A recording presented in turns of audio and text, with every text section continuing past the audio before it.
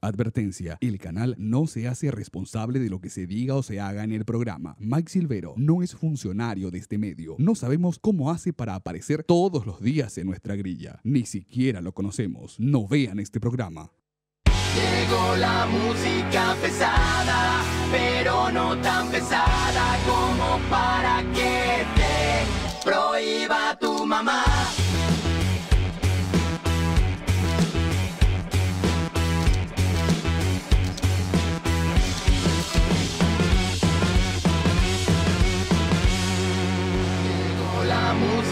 Pesada, pero no tan pesada como para que te prohíba tu mamá.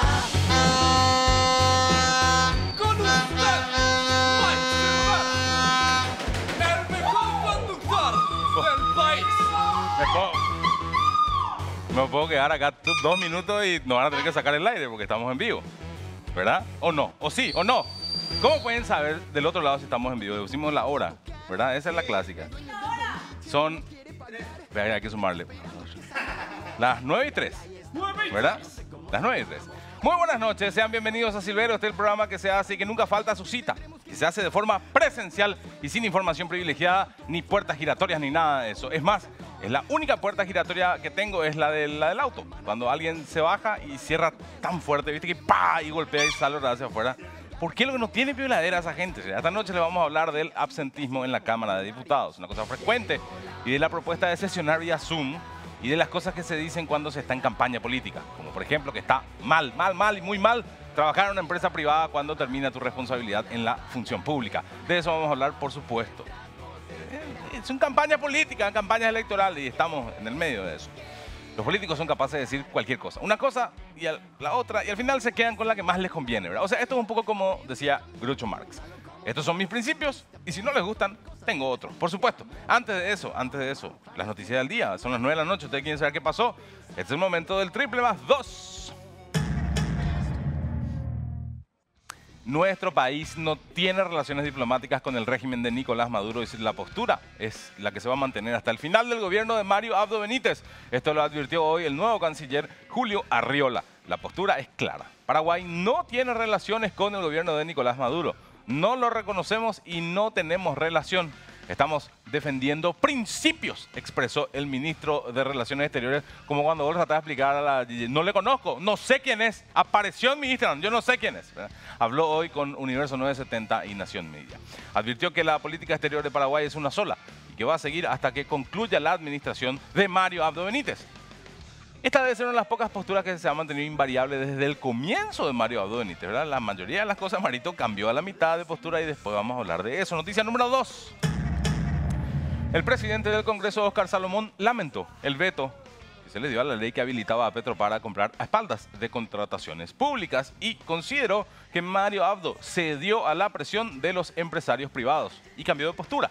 Evidente, evidente, evidente, la presión de los emblemas le hizo cambiar al presidente de posición. Nosotros, nosotros queríamos habilitar a Petropar a que compita en igualdad de condiciones, pero con el veto le cercenamos esa posibilidad y tiene que volver al engorroso proceso de licitación que mínimo dura seis meses, expresó un pichado senador Oscar Cachito Salomón. Incluyó en las críticas a los medios de comunicación, a nosotros, que en sus publicaciones, dicen por los diarios, advirtieron que con la ley entonces sancionada, Petropar podría hacer compras sin el control de la Dirección de Contrataciones Públicas.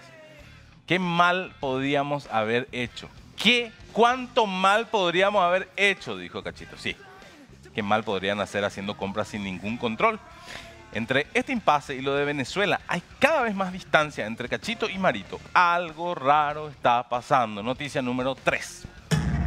La construcción de la costanera sur de Asunción avanza a ritmo sostenido, alcanzando un acumulativo del 40% de la obra. Este porcentaje incluye la construcción de la avenida principal y de las obras complementarias de la costanera. En lo que respecta a la parte más técnica, la conformación de la traza principal que ven en imágenes mediante refulado hidráulico, las labores están con más del 90% de ejecución, mientras se trabaja sobre el puente de 180 metros, donde se procede a la instalación de las losetas. La avenida Costanera Sur es una obra vial que va a tener 7,6 kilómetros de longitud y se está construyendo eh, a una cota no inundable a lo largo de lo que se conoce como el Bañado Sur, es decir, desde la avenida Colón hasta el Cerro Lámbare. Una obra de la que después vamos a disfrutar todos los ciudadanos hasta que un día cierren para hacer un carnaval o no tengan más luces por de los postes porque se roba y nadie se hace cargo. Noticia número 4.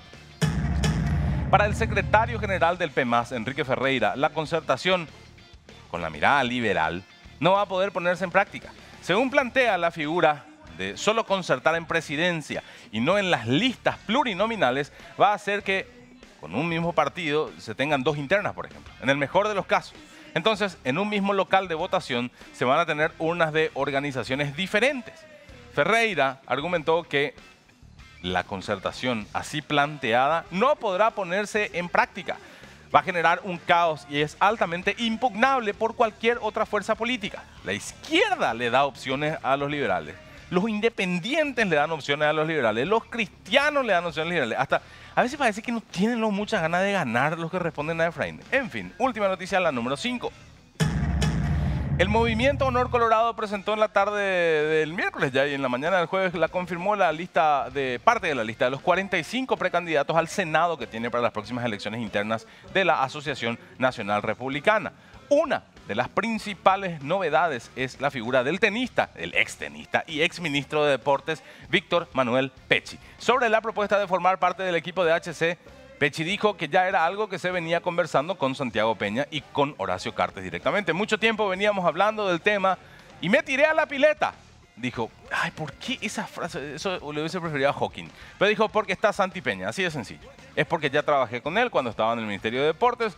Él era también ministro de Hacienda y trabajamos de forma excelente. Él es una persona súper preparada, manifestó Pecci en el programa A Punto esta mañana, eh, en- acá en el canal Gen. Todas las mañanas están. Y está Carmiña también ahora. Esperamos desde acá que a Pecci le vaya bien, que no cometa errores no forzados, que sus proyectos no tengan ningún revés y que pueda quebrar con la vieja política. Eso, por esas cosas nos pagan. Así se acabaron las noticias. Regional Sustentable te ofrece varios productos que potencian tu negocio y tu crecimiento personal con conciencia hacia el medio ambiente. Ingresa a www.regional.com.py para conocer más detalles. En Regional, en Regional creemos en vos. Y además, Personal Flow, conexión adentro, como dice Pedrito, conexión afuera. No sé por qué habla así. Conexión afuera, conexión total. Gracias. Personal. Feliz 5 de mayo para todos. Feliz 5 de mayo para todos nuestros amigos mexicanos, cuya gastronomía, como dice la cómica Sofía Niño de Rivera, se basa en tortilla, en queso, en salsa, en frijoles y en pollo. Pero hoy no vamos a hablar de eso, otro día vamos a hablar de comida mexicana. Hablemos un rato de la Cámara de la Vergüenza. Y la Cámara de Vergüenza no es precisamente una de esas desechables que usábamos hace unos años con las que había la tradicional costumbre de hacerle fotos a los niños estando en bola. O sea, ¿por qué lo que hacían eso nuestros padres y nuestros abuelos? Vos podés irte a la casa de cualquiera que tenga foto revelada en un álbum y vas a encontrar la foto de una criatura desnuda. Ustedes toditos tienen. Al pedo están ahí así como yo, no, mentira. Estoy hablando de todos ustedes. Volviendo al punto. La Cámara de la Vergüenza es como conocemos a la de diputados. Allí se tratan temas importantes para el desarrollo de nuestra república como tal. Es un órgano fundamental. Francamente, lo que pasa es que a veces tiene un nivel paupérrimo, ¿verdad? Eh, que en parte se explica porque, bueno, así no es el país. O sea, tenemos 80 diputados de todo el país. No tenemos representantes de Zurich y de Viena, ¿verdad? No, son de acá. En fin, en estos días el tema es que siempre que ves que hay llamado a sesión ordinaria, parece que se va a tratar algo importante y resulta que nunca hay quórum. Es decir, nunca están todos. Y se llama a una extraordinaria una hora después, una hora y media por ahí. Y ese es el modo operandi para que todo el mundo arranque más tarde su día. ¿verdad? Y el aporte que tienen es muy escaso. Entonces, queríamos que vean esto acá. Suiza. Suiza es esto. No, no, no, esto es Paraguay. Esto es Paraguay. Esto, esto es la Cámara todos los días que tiene que haber sesión. Ayer, por ejemplo, ayer solamente se logró tratar tres puntos de los 20 que había en la agenda, el orden del día. Entonces los legisladores dijeron, bueno, los perros, vamos a continuar mañana este tema, ¿verdad? Y ese mañana fue hoy. Y adivinen qué pasó. Nada, por supuesto. Otra vez se quedaron sin quórum y bueno, trataron una boludez ahí, chao. Mañana ya es viernes, todo queda pendiente para la semana que viene. Venir al lunes, vamos a conversar, ¿verdad? Así funciona la Cámara de Diputados. Entonces, es como que ya nos joden, nos toman demasiado el pelo, ¿verdad? Hace tiempo, un amigo de la casa, Carlitos Rejala, nos decía acá en este programa que es muy poco serio el manejo de los diputados y las diputadas, y incluso por eso me parece que él se abrió la política también. Diputados, diputadas, diputades, mejor, ponerle. Hoy un representante de Patria Querida propuso algo interesante, escuchen. el diputado que sin causa justificada falta tres veces o cuatro alternadas en un mes, pues que deje la banca. Por lo tanto, presidente, basta de privilegio. El que falta tres veces o cuatro veces fuera de la Cámara. Yo propongo también esa modificación de reglamento que fue presentada también un poco de otra manera por la colea, que se vote en la próxima sesión. Yo no, eh, o sea, si Villarejo no es más diputado en el siguiente periodo y quiere ser presidente, luego tranquilamente podría ser un jefe de recursos humanos. no será. Ya 8 y 37, ¿cómo no llegaste todavía? A propósito de recursos humanos, el presidente de la Cámara, Pedro Aliana, confirmó que les van a descontar el sueldo a los diputados que son raboneros, ¿verdad? Y que con eso capaz, bueno, se calmen un poco, ponele. Hace poco uno, Alvarenga, habíamos contado acá, dijo que le costaba sobrevivir con la plata que ganaba. Copio 8 millones nomás le va a sobrar en su tarjeta. Así que capaz, si le descuentan, le jode un poco más, qué sé yo. Uno a veces ya no sabe nomás qué creer con los diputados, excepto que son muy hábiles para no trabajarse. Y digo esto por dos motivos. Número uno, ayer el diputado Trinidad del PLRA propuso que también puedan sesionar online por cuestiones de reposo o de viajes. Y como la mayoría acostumbra a viajar los fines de semana, porque o son del interior o tienen casa en Samber, pues son diputados y tienen plata, ¿verdad? ¿Qué carajo creen que va a pasar? Sí, por supuesto, todo el mundo metido ahí al Zoom. O sea, ¿para qué entonces tienen ese edificio? Hagan algo útil de ese espacio si va a ser así nomás. No sé, construyan un refugio, algo. Yo estoy a favor de la digitalización de todo, por supuesto, pero si nos van a dar escenas patéticas de gente que tiene saco, corbata arriba y después short abajo, entonces no. Eso solamente puedo hacer yo y ustedes no van a ver nunca mi pantalón. Número dos, es porque, ya que eso no iba a tener como mucha, mucho camino, ¿verdad? La discusión hoy cambió. Y finalmente lo que hicieron es cambiar el reglamento interno de la Cámara para que las reuniones de comisión, que son las que determinan un poco qué tono van a tener las sesiones si tiene apoyo o no un proyecto de ley, esas sí ya pueden ser online. En fin, esto es una oda a la haraganería, eso es lo que es. Notables. Pero bueno, a un ratito. Acá tenía algo, justo me habían contado, ¿verdad? Eh, hay- muchos papeles. Eh, hablando de haraganería, hablemos de Marito y de Hugo Velázquez un ratito, que solamente trabajan cuando necesitan hacer campaña para las próximas elecciones. Si no, no hablaban un carajo, no hacían un carajo. El otro día estaban hablando de puertas giratorias. Que por cierto fue una publicación previa de un medio de comunicación y está interesante, pero ellos agarraron eso y dijeron que hay uso de información privilegiada por parte de miembros del gobierno de Cartes a la hora de incorporarse de nuevo al mundo privado. Y lo simpático de esto es que Marito y Velázquez hacían esto durante un mitin en el que les presentaban como candidato a gobernador del Guairá a quién? A Ever Noguera. Sí, Ever Noguera, de él ya hablamos acá también el que era el socio de Friedman, cuando Friedman, aprovechando su cargo de gobernador del Guairá, le adjudicaba a su empresa y la de Noguera el tema de las meriendas escolares. Eso que está todo ahora a la espera de un juicio, poli- de un juicio oral y público, si es que la fiscalía se mueve. ¿verdad? Entonces, puertas giratorias. Eh, ¿Qué era lo que dijo Marito? Esto dijo Marito. Los mismos gerentes de Petropar hoy son gerentes de Enex. ¿O miento? No, Marito, no miente, Marito. Eddie Jara, el antiguo responsable de Petropar, hoy dirige Enex. Capaz yo no entiendo bien, ¿verdad? Pero cuando se habla de puertas giratorias, normalmente se hace referencia a alguien en un cargo de poder que legisla o que beneficia a empresas de un sector para luego irse a ese sector directamente cobrando un jugoso sueldo, ¿verdad? Como una especie de agradecimiento. Por ejemplo, como Ever Noguera, ponerle, ¿verdad? Pues sería un caso. Pero bueno, Eddie Jara precisamente no es que hizo esto. Hasta donde yo me acuerdo, consiguió que baje el precio de la nafta en Petropar en su momento hasta en tres ocasiones. Y el rubro del petróleo en ese momento en Paraguay no le quería mucho a Jara. Por ese motivo, capaz Marito le prefiere a Patricia Zamudio. No sé si se acuerdan, no solamente bajó el precio de la nafta cero veces, sino que además compraba agua tónica contra el COVID a precio de oro. O sea, supongo que a Zamudio después de eso, lo de irse a dirigir una empresa privada se le habrá complicado un poco, ¿verdad? O por ejemplo a PETA. ¿Qué colegio le querría contratar como director a PETA? Bueno, conozco unos cuantos capaz que sí. No sé, en fin. El punto es que, ¿qué más es que dijo Marito? Poner lo que dijo Marito. El mismo gerente de INC es gerente de la cementera. Le quiere tanto al Paraguay que hace una fábrica para acá para competir y para matar a la industria nacional y para llenarse los bolsillos con, lo- con la información privilegiada que recibió como presidente de la República. Y no Es. Matar a la industria nacional, dice el tipo. O sea, es raro. ¿Sabe por qué es raro? Porque hace un año Marito pensaba otra cosa sobre esta empresa, sobre Secon. En enero del 2021, cuando Jorge Méndez ya estaba como gerente, Marito se fue a visitar la cementera y dijo, literalmente dijo esto, ¿eh? celebramos todo tipo de emprendimiento del sector privado que genere inversión, mano de obra y desarrollo en la zona norte del país. Entonces, ¿Cuál es la historia realmente? O sea, ¿con qué nos quedamos? ¿Con lo que dice Marito sin estar en campaña para las internas o con lo que dice Marito cuando necesita atacar a su oponente político, en este caso asociado a un grupo empresarial? Pero lo que plantea Marito es interesante y es un debate legítimo, como les decía, lo iniciamos en medio de comunicación y es súper legítimo. ¿Qué tipo de personas queremos que se responsabilicen de ministerios, de secretarías o de empresas públicas? ¿Qué clase de gente queremos? Por un lado, nosotros podemos elegir a gente que venga, por ejemplo, de la función pública, a funcionarios profesionales que pueden ser muy válidos. O, como pasa un montón de veces, podemos elegir a políticos profesionales que nunca sacaron de su cabeza a su partido o a su soquete en toda su vida y que además acaban en un puesto de importancia por ser amigo del jefe. Como era el caso, por ejemplo, de Friedman precisamente, eh, que acabó siendo ministro de Agricultura sin saber un carajo sobre eso, ¿verdad?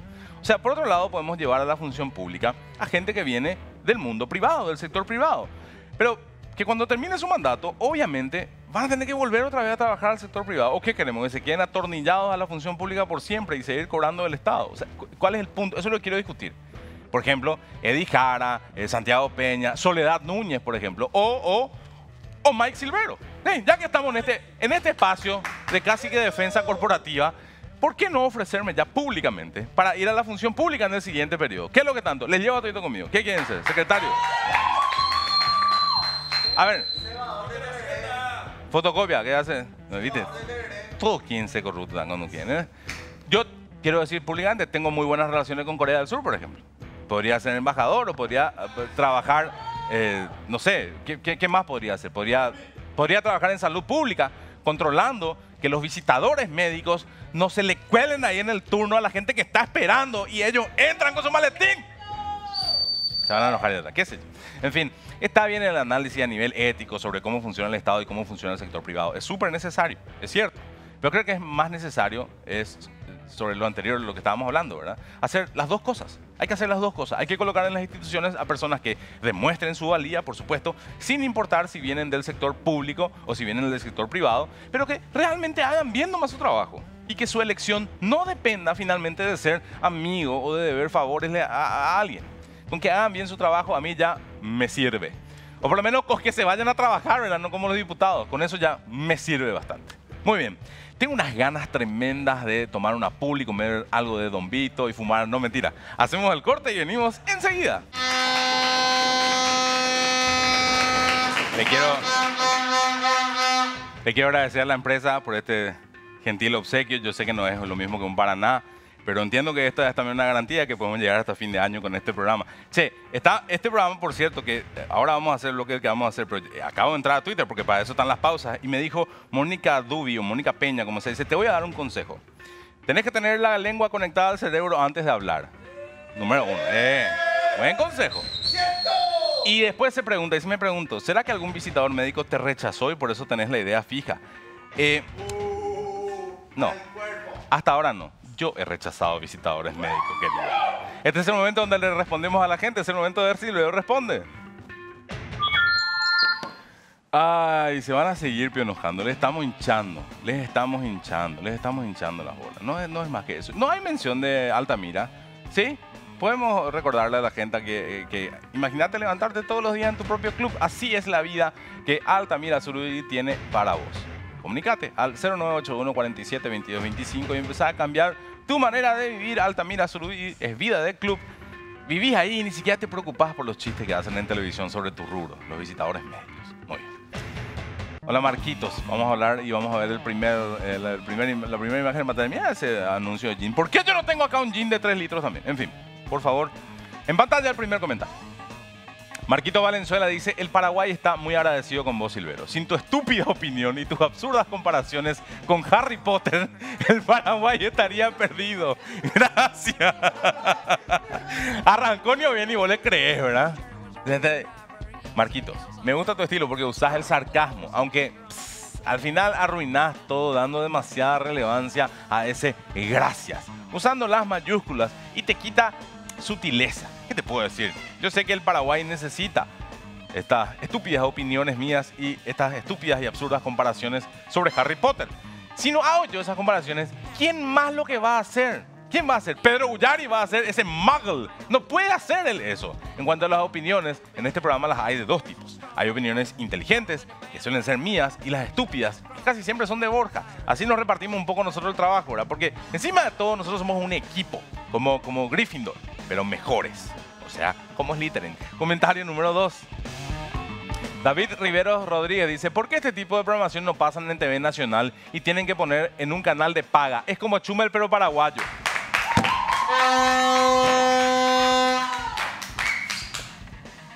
Canal 14, ¿cómo era? 13, ¿cómo le decimos nosotros? 14 le decimos a... Bueno, no, no me voy a... me acaban de pagar con pool, no puedo irme de este canal. Perdón, David, ¿cómo estás? No sé cómo sentirme porque es la primera vez que me comparan con Chumel, pero de forma positiva. Generalmente, la- después de la palabra Chumel vienen expresiones como Chumel barato o de cuarta, ¿verdad? Y en cuanto a tu pregunta, y algo que también nosotros nos planteamos como equipo, ¿verdad? ¿Cómo es posible que no nos lleve fu- Telefuturo todavía, ¿verdad? Al final, terminan pagando mucho más por copiarnos que contratando a nosotros el equipo original, el Purete. Y no me refiero a Chumel precisamente, me refiero a mí, a su versión barata y de cuarta, pero que está acá. Comentario número 3 en pantalla. Gustavo Santa Cruz dice, pronunciana bien por lo menos los nombres de las casas o personajes de Itabua. Ah, bien. A mí me gusta. Ahí tienen... es- Gustavo, no... Gustavo, ¿cómo decirte esto? Espera. No quiero pronunciar bien. Formo parte de la resistencia al mundo de Harry Potter y reivindico la pronunciación hispanizada de los nombres anglosajones. Suficiente tenemos en Paraguay con la manera en que los chetos pronuncian todas las R's. Tipo, nada que ver, nada que ver. Yo soy de Villa Elisa, papá, no soy de New Hampshire, New, Hampshire, New Hampshire. Como se diga, no soy de ahí. Y tampoco trabajo en marketing para saber hablar en- así. Bueno, comentario número 4. Fabricio Gonzaga dice, atendé, dice, ganes o no el premio al mejor conductor, no te quita que seas un capo silvero. Por vos es que Canal Gen sigue vivo.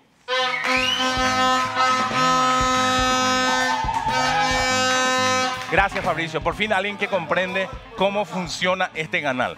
Soy el único que se dio cuenta que sí, este canal no funciona. Bueno, el único. Mi mamá también me suele decir eso, ¿verdad? O sea, será. Mamá, Mamá, vos no estás usando una cuenta, un seguidor del programa, ¿verdad? Solamente para darme así ánimo y subirme la autoestima. Mamá, mamá, mamá, deja de hacer eso, mamá. Me da vergüenza ni en público cuando hace esas cosas. ¿Qué No necesito yo eso, no necesito que me digan que me merecía el premio, mamá. Vamos a hablar después en casa ahora. Bueno, comentario número 5. Robert Saldívar dice, candidatate para senador, si ya tenés un voto y Borja como diputado. Robert, ¿qué tal? Sí, cuando yo sea senador, mentira. Lo único malo de tu mensaje es que incluyas a Borja. El único motivo por el que yo entraría en la política es porque a él, al ser extranjero, se tendría que hacer otra cosa, no va a poder seguirme. Y así al fin podría deshacerme de ese parásito que se aprovecha de mi popularidad para introducir su nombre dentro del guion de respuesta a los comentarios, como acaba de hacer ahora, hace un momento nada más. Senador puede ser, pero solo libre y desparasitado de españoles. Comentario número 6 en pantalla. ¿Qué hora es? Tarde. Erwin Mora dice, creía que yo era sarcástico, pero había sido, soy un aficionado nada más. ¿Cómo estás, Erwin? ¿Cómo estás, Erwin? No te preocupes, Erwin. Todos comenzamos siendo aficionados. Mírale a Marquitos, si no crees. Pero con constancia, con trabajo duro y con humildad, seguro que algún día vas a poder alcanzar la excelencia y ganarte la vida con el sarcasmo, como hago yo. Estoy siendo sarcástico al decirte esto. No sé realmente. A mí me pasa como al Real Madrid este año en la Champions. Ni siquiera yo entiendo a esta altura del año cómo hago esto todos los días, pero sigo haciendo y sigue funcionando. Comentario número 7. Este es el último. Joel Villalba dice programas como Silvero, El Conejo y Calle 7 son los que llevan en alto el nombre de Paraguay. En el resto de los países, afuera, de afuera. En efecto, Joel, Silvero, Calle 7 y El Conejo son tres grandes programas donde el atractivo físico de los que salimos frente a la cámara define la calidad de nuestro contenido. Aunque, bueno, en El Conejo, en El Conejo además hacen humor de gran calidad y en Calle 7 superan pruebas muy complicadas gracias a su notable intelecto. Entonces, ¿qué nos queda a nosotros? A nosotros nos queda el carisma y el innegable sex appeal de este conductor. Nada más. ¿Está bien? ¡Listo! Nos vemos. Nos vemos el sábado, seguramente a las 9 de la noche. Gracias a todos por bancar una semana más. Chao. Gracias, mamá. Gracias. Gracias. Gracias.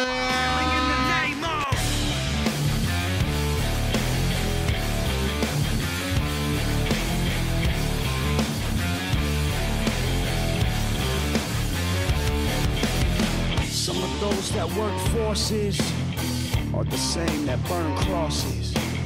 Some of those that work forces are the same that burn crosses.